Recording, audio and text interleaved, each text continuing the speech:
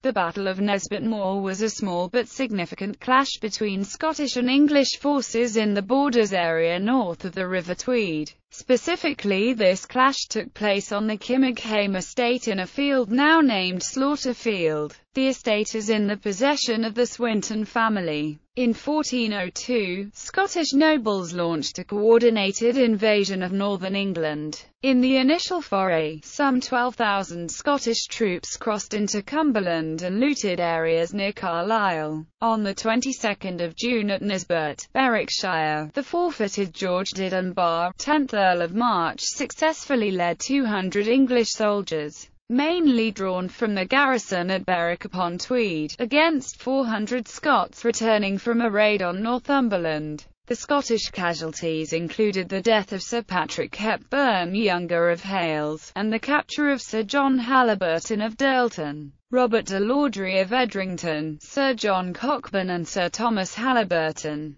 The date of Sir Robert Lauder's liberation does not appear to be on record but as there is a charter in the Great Seal of Scotland confirmed it, Falkland Palace in May 1411, which mentions him being present, we might safely assume that he was freed before that date.